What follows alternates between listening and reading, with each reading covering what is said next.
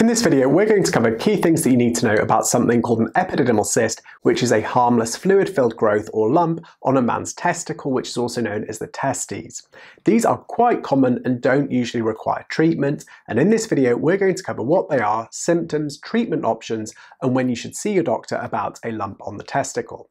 So the vast majority of testicular lumps and swellings are caused by benign or non-cancerous conditions that may not need treatment, but it's important to know what's normal for you and to always see your doctor if you notice any changes in your testicle or lumps so they can try to identify the cause. So first of all, let's start off the video by covering what is an epididymal cyst. Well, a cyst is just any small bulge that's filled with fluid, and cysts can grow almost anywhere in the body.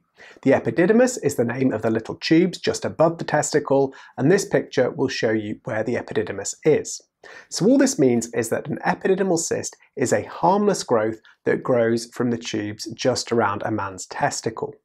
So who develops epididymal cysts? Well, men are most likely to develop these cysts during middle age, and children rarely get them before they become teenagers.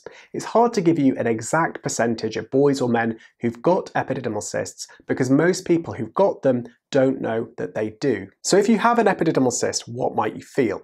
Well, you might feel a soft, slightly squidgy lump at the top or bottom of your testicle, which is normally painless.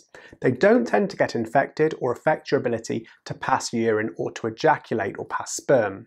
So what else could it be? So a lump in the testicle could be lots of different things and I'll make a video at a later date about some of these specific things in more detail, but it could be inflammation. So some illnesses cause a thickening of the epididymis and surrounding structures, which can feel like an epididymal cyst. It could be a hydrocele. This is caused by a collection of fluid in the scrotum. It could be a varicocele. This is like varicose veins of the small veins next to one of the testicles or both testes. It's usually described like feeling like a wriggling bag of worms. It could also be a lipoma. This is a fatty lump which can sometimes cause difficulty difficulty because it can be felt separate from the testicle, just like an epididymal cyst. In rare cases, testicular lumps could be a sign of testicular cancer. It's important to remember that there are many other causes of lumps in the testicle other than cancer, and Cancer Research UK estimates that fewer than 4 in every 100 testicular lumps are cancerous. So people often ask, do you need any tests for an epididymal cyst? Usually they are quite typical in the way that they feel and the doctor can normally tell it's a cyst by feeling it, but sometimes they might arrange an ultrasound scan, which is a jelly scan of your scrotum. Some people also ask, are there any illnesses associated with epididymal cysts? Now most men with epididymal cysts are quite healthy and they can develop at random. However, there are some quite rare conditions that are associated with epididymal cysts, and these include cystic fibrosis. This is an inherited illness where there are cysts in the lungs, pancreas, and other areas of the body, as well as polycystic kidney disease. This is again an inherited condition in which cysts develop in the kidneys and again in other parts of the body.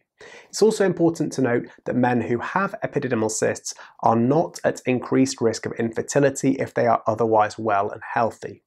So now we know what they are and what they can feel like, what is the treatment for epididymal cysts? Well, if the cyst is small and causing you no problems, then your doctor might advise you to keep an eye on it and see them again if it gets bigger or more painful. In certain cases, surgical removal might be necessary if they become painful or don't start to shrink. Large or painful cysts can be surgically removed or treated by aspiration. This means drawing out the fluid, an injection of a substance to shrink and seal the cyst. Usually epididymal cysts don't cause any problems at all, but very occasionally they can twist around and become very painful. This is something called torsion and it happens pretty quickly, typically within about half an hour.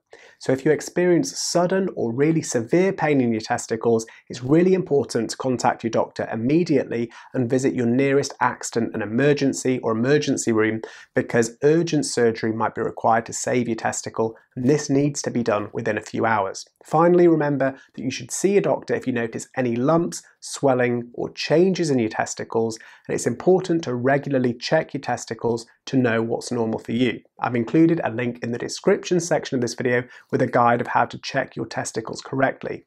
If you have noticed a lump, then your doctor will ask you about your symptoms and examine your testicles to try and identify the cause of the problem. In some cases, you might be referred for other tests, such as the ultrasound scan of your scrotum, to confirm what the lump is.